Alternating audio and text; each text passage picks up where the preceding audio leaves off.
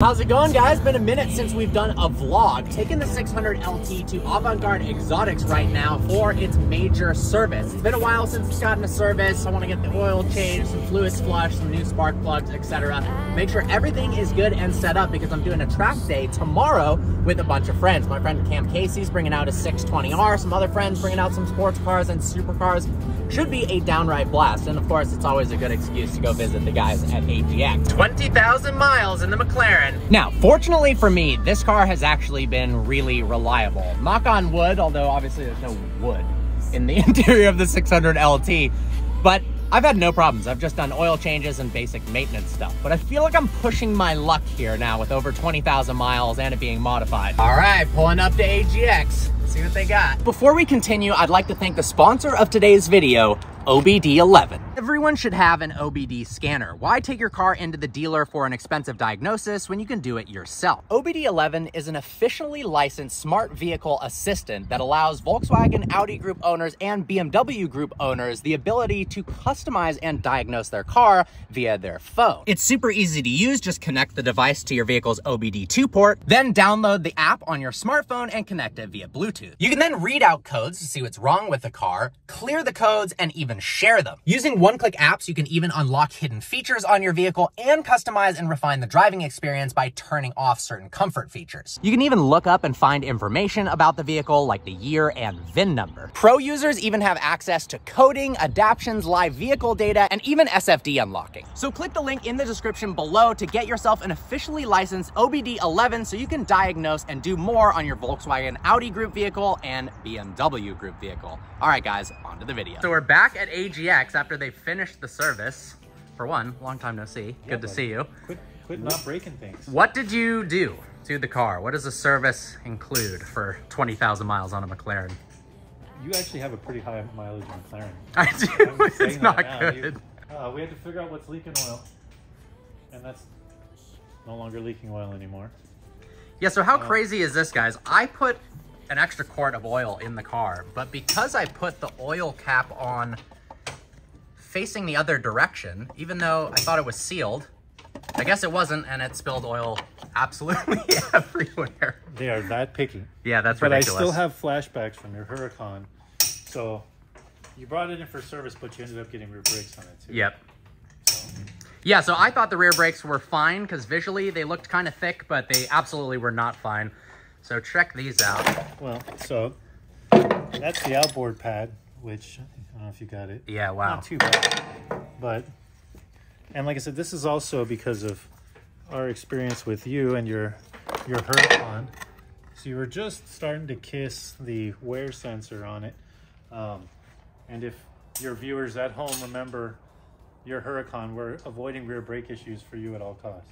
Yeah, so for those of you who didn't see that video, I'll, I'll uh, overlay it right now. But effectively, I ran the pads down to about that level. It had a pad failure. Then the metal backing plate bit the carbon rotor, and it was like a $10,000 bill. So I guess you're welcome, but... I still have steak in my refrigerator from that, so... And then look at my... Look at these filters. That is absolutely disgusting. No, hey, pick the left one up and just bounce it on the, on the ground. Yep, stuff came out of it. Nice. No, here. Oh, you're going to give it a better slam? What kind of... What kind of yeah, that's, oh my gosh. Tell me when to stop. And I, I mean, oh, you know stop. what? I was going to say I've never off-roaded, but for that stupid Area 51 raid, I took it like five miles on a dirt path. So that's probably, probably what that was for. And then just uh, some brake fluid sampling for you so you can see. Lovely. Take a shot. And there's like 30 you grand. oh yeah. We'll, we'll talk to Mitch about the bill and we'll go over actually how much all of this cost. We, uh, uh, it would have been more at a dealership, but it's, it's still not cheap. We clean the calipers. Look at them. So pretty. They do look nice. Well, thank you. All right. Well, thank you guys. Seriously. Anytime. All right. We'll do a little shop tour since they always have some cool stuff going on at AGX. Very interesting color scheme here. Really cool RX-7. And then I'm sure a lot of you will recognize this Murcielago, the Fast and Furious Murcielago that Tavares has completely restored. This thing is badass. Look at that manual transmission as well. Beautiful Murci here. Amelia's car. Look at this wide body Aventador. That's pretty crazy. And then this is quite the flashy Aventador. Look at this chrome gold. SV. Got some really cool cars out front of AGX as well. This beautiful SVJ Roadster. Look at that, wide body Urus. Mark's beautiful E92 M3. The bumper on this Gallardo, they put like a Reventon front bumper on it, which is uh, interesting to say the least. Maserati, some Performantes, but it sounds like they just started up the McLaren. Um, Rod, can I start it? Hold on, I'm about to put it. Rod, No, can no. I, st- I know. I- So the battery says 0%, and you just told me the battery costs how much?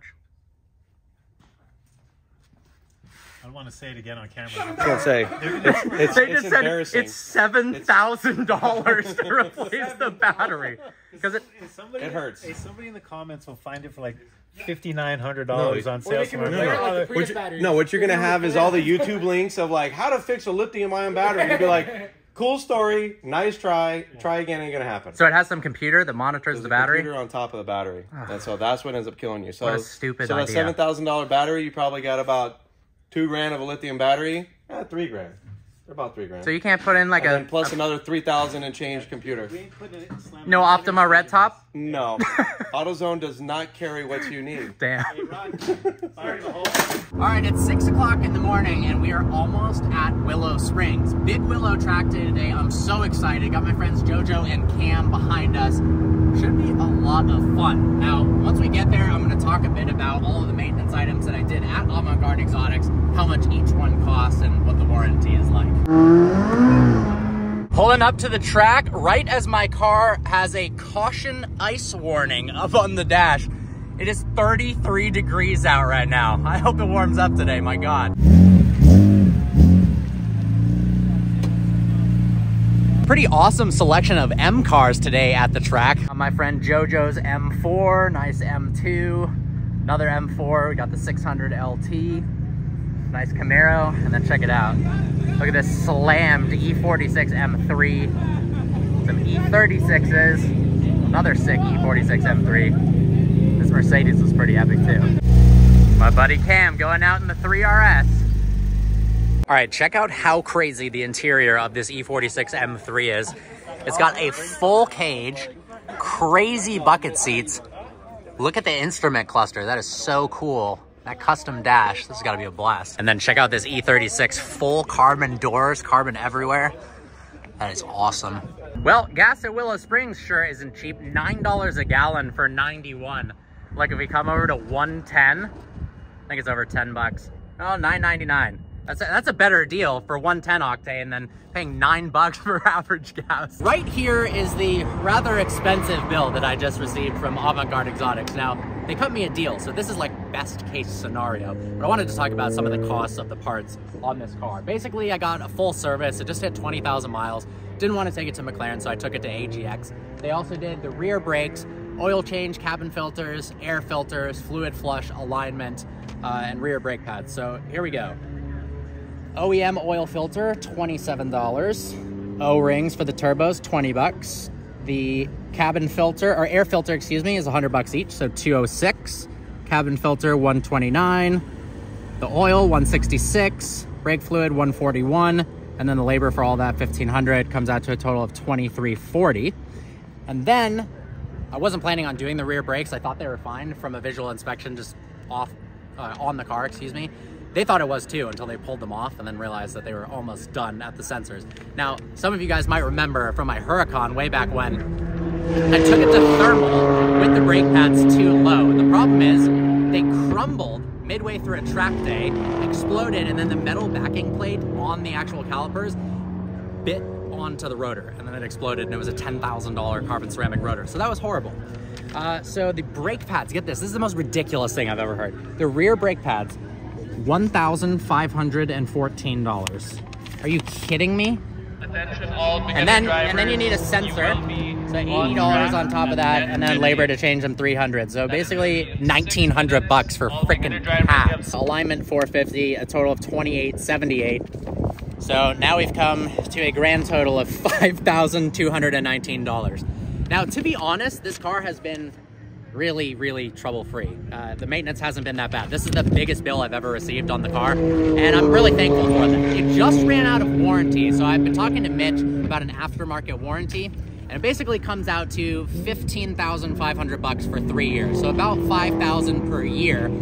And after finding out that the sensor and the battery alone are $7,000, obviously the motor is probably eighty to $100,000, the transmission is probably forty to $60,000. That's not including install. I think I'm probably gonna do it. Obviously that's ridiculously expensive for a warranty, but just wanted to give you some uh, insights into McLaren maintenance and ownership. Let's get out on the track. having an absolute blast today. Cam is out here for the first time in his GT3 RS. We got Jojo in the pink M4 over there. All right, see you guys out there.